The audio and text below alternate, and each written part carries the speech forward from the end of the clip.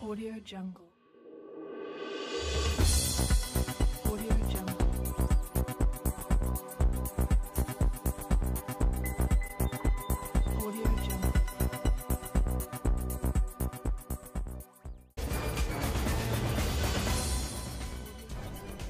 Updates on education. Government to increase digital intensity in education, technology to be the biggest driver in improving quality of education, says FM Arun Jaitley. Rupees 1 lakh crore allotted to revitalization and upgradation of education sector, promoting learning based outcomes and research.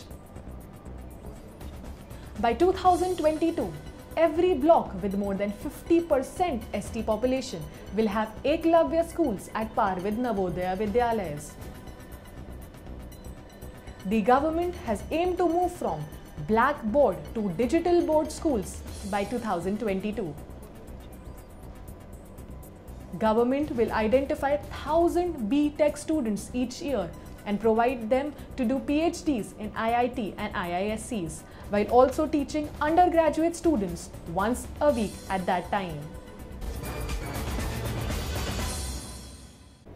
We definitely hope that the budget is a constructive one and we meet all the objectives on time. Thank you for watching India's Tax Corner and click on subscribe to watch more videos.